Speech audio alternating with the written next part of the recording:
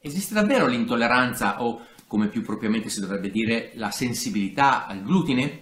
Ciao a tutti, io sono Dario Bersanini e questo è il mio canale dedicato alla scienza di ciò che mangiamo. La domanda che vi ho posto è la domanda su cui la comunità scientifica si sta interrogando negli ultimi, negli ultimi anni. Cominciamo subito con chiarire che non stiamo parlando di celiachia. La celiachia è una malattia a base genetica eh, ben nota, esiste, non c'è assolutamente nessun dubbio, colpisce circa l'1% della popolazione, si può identificare facendo per esempio una, un'analisi, una biopsia dell'intestino e eh, vedere eh, come è stato diciamo, danneggiato dal glutine. Infatti per i celiaci il glutine è il male assoluto, non devono ingerirlo ehm, in alcun modo perché danneggia permanentemente l'intestino con delle conseguenze anche gravi. Il glutine è eh, per chi non lo sapesse, una sorta di complesso proteico, un insieme di proteine presente in eh, molti, molti, vegetali, come per esempio il, il, frumento, il farro, il camut, contiene tanto glutine quanto il grano duro, anche se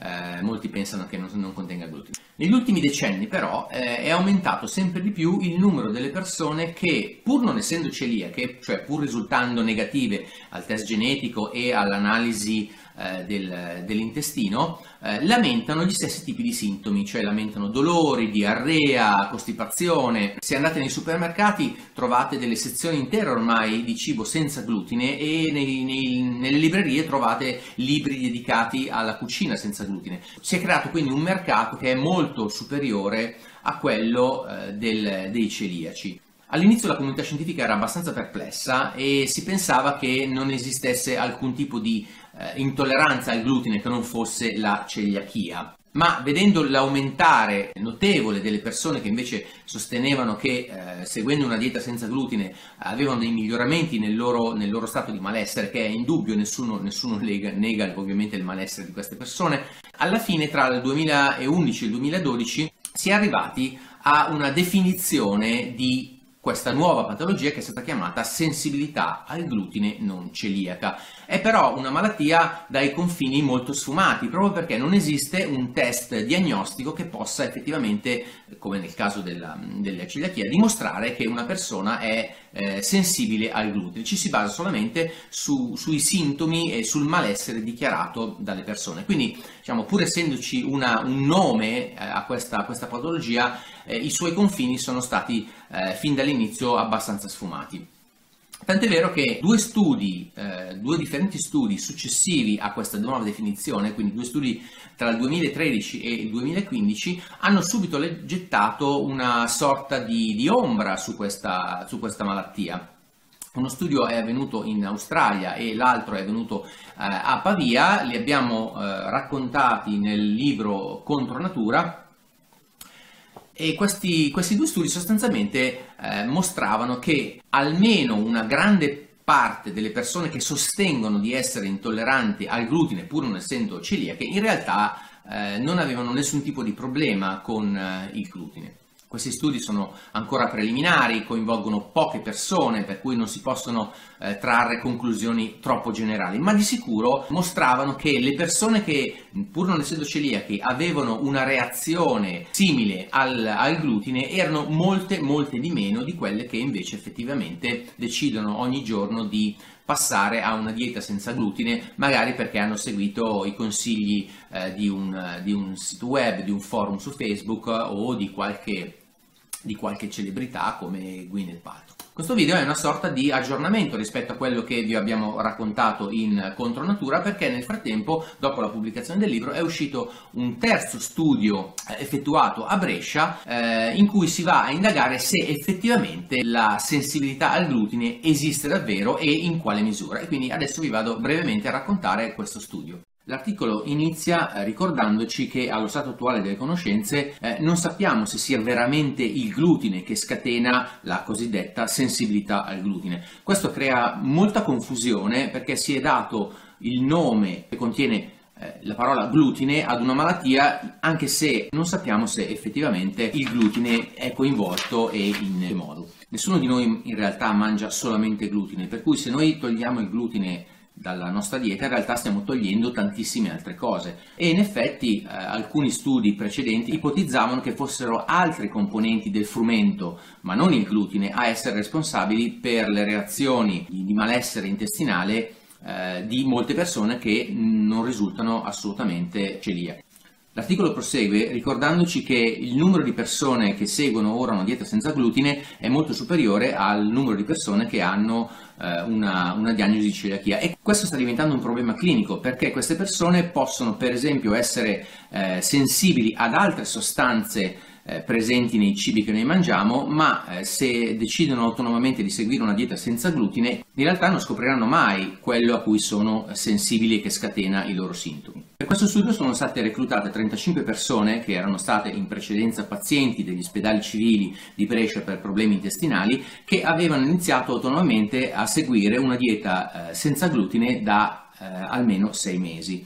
Lo scopo di questo studio era verificare attraverso i sintomi di queste persone se queste persone fossero in grado di distinguere eh, la presenza di glutine all'interno di un alimento confrontato con invece lo stesso alimento eh, ma senza contenere glutine. Il tipo di studio è di quelli denominati in doppio cieco, cioè le persone non dovevano sapere se l'alimento che stavano mangiando conteneva o meno glutine e eh, per essere ancora più sicuri che non ci fossero interferenze nello studio, neppure gli sperimentatori, neppure i medici dovevano sapere fino alla fine dello studio che cosa avevano assunto eh, questi pazienti. Questi pazienti sono stati divisi in due gruppi e eh, il tipo di studio prevedeva quello che si chiama un challenge, cioè si doveva dare ad ogni paziente un sacchettino che poteva contenere o farina senza glutine oppure farina con glutine, ma eh, visivamente non era possibile distinguere. Eh, si sfidava il corpo, quindi c'era la challenge, come si dice, eh, a interagire con un alimento di cui non sapevano la composizione. Questi, questi pazienti erano stati istruiti a tenere un diario alimentare molto dettagliato casa e dovevano segnalare ogni giorno, scrivere dettagliatamente su un diario anche tutti i vari sintomi che mh, provavano durante la giornata, che potevano essere per esempio eh, dolori intestinali, nausea, vomito, diarrea e così via. Per i primi dieci giorni dovevano ogni giorno aprire il sacchettino per esempio A e metterlo o sulla pasta oppure eh, sul, sulla minestra, su quello che consumavano. Non sapevano se stavano mettendo farina senza glutine oppure farina con glutine. Alla fine di questi dieci giorni è seguito un periodo di due settimane in cui sono ritornati alla loro eh, abituale dieta senza glutine. Nell'ultima fase dovevano usare il, per altri dieci giorni il sacchettino di tipo B. Coloro che all'inizio dello studio, nei primi dieci giorni, avevano utilizzato farina con glutine, eh, avrebbero usato dopo il, nella seconda fase di challenge eh, la farina senza glutine e viceversa. Alla fine dello studio ogni persona doveva rispondere a questa domanda. Secondo voi era la farina A oppure la farina B che conteneva glutine? Cosa si dovevano aspettare i ricercatori da questo studio? Beh, prima di tutto eh, se davvero le 35 persone eh, che sono passate alla dieta gluten free fossero davvero sensibili al glutine, beh, avrebbero dovuto eh, tutte identificare la farina con glutine perché avrebbero dovuto avere dei sintomi molto più gravi che non invece assumendo farina senza glutine. Se invece alcune persone eh, pensano di essere sensibili al glutine, ma in realtà sono magari sensibili ad altre componenti eh, del frumento o della farina eh, senza glutine che contiene eh, altre cose, beh, allora ci dobbiamo aspettare che solamente una piccola parte di queste persone eh, riesca a identificare correttamente la, la farina col glutine. Si deve poi comunque tenere presente che c'è sempre l'effetto del caso, cioè le persone possono anche eh, scegliere eh, in, modo, in, modo, casuale e per cui mai questo tipo di test con un numero così piccolo di eh, partecipanti riesce a identificare perfettamente coloro che hanno eh, indovinato correttamente in base ai loro sintomi. Scrivono Abbiamo trovato prove dal nostro studio che supportano la diagnosi di sensibilità al glutine non celiaca in solo un terzo dei pazienti che rispondono ai criteri internazionali per questa, questo tipo di diagnosi. Tuttavia, due terzi dei partecipanti non sono stati capaci di identificare correttamente la farina che contiene il glutine. Questi possono apparire sorprendenti per alcuni, ma in realtà sono in linea con gli esperimenti e gli studi eh, che ho citato in precedenza. Le spiegazioni di questo comportamento non sono, non sono chiare. Ci può essere una sensibilità a delle componenti della farina oltre al glutine. Questo era già stato verificato nello studio australiano in cui si erano identificati dei carboidrati presenti nel grano, ma non solamente nel grano, che potevano dare questo tipo di reazioni. Ora queste sostanze sono collettivamente note come FODMAPs. È importante definire esattamente lo stato clinico di questi soggetti perché solamente le persone che sono sensibili al glutine e, non ad altre sostanze hanno la necessità di seguire una dieta gluten free. Un'altra possibilità è che ci sia, almeno in parte, quello che si chiama un effetto nocebo, cioè le persone che pensano di mangiare qualche cosa che li può danneggiare, li può far star male, in realtà scatenano loro stessi una reazione di questo tipo. Scrivono i ricercatori, il nostro studio suggerisce che eh, i sintomi che queste persone provano quando vengono esposti a cibo che contenente il glutine durante la loro vita di tutti i giorni è in realtà collegato a un aspetto eh, psicologico di anticipazione dell'intolleranza.